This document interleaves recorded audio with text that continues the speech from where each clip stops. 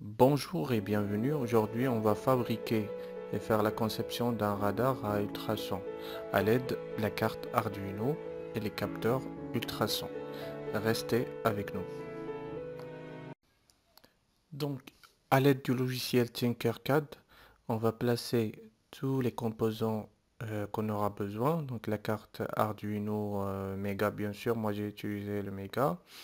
Euh, le capteur ultrason, le servo moteur et le câblage. Donc comme vous voyez sur l'image, le moteur tourne d'un angle, il commence avec un angle démarrage, puis il tourne à droite et à gauche pour balayer toute la zone qui est en face. Donc dès, dès qu'il voit en face de lui un obstacle, donc il va mettre une alarme ou bien un balayage en rouge. Donc pour l'état normal, il va, il va mettre un balayage en vert. S'il y a un obstacle, il va mettre un balayage en rouge. Pour la programmation, c'est la programmation basique du capteur ultrason avec le servo moteur.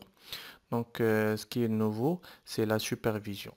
Donc comment on va faire la supervision? C'est à l'aide du logiciel Processing. Donc le logiciel Processing, c'est une programmation Java. Il permet la supervision à partir du tram qui sont arrivés en port communication série. Donc c'est ça le nouveau par rapport au logiciel Arduino. Donc on aura besoin de deux logiciels, logiciel et la programmation de la carte Arduino, c'est le logiciel que vous connaissez, plus un autre logiciel qui, qui est appelé Processing, c'est pour la supervision. Donc il récupère les trames qui sont euh, dans le port de communication série, puis il les interprète en mettant un graphe de balayage à droite et à gauche et en indiquant euh, la distance et les angles.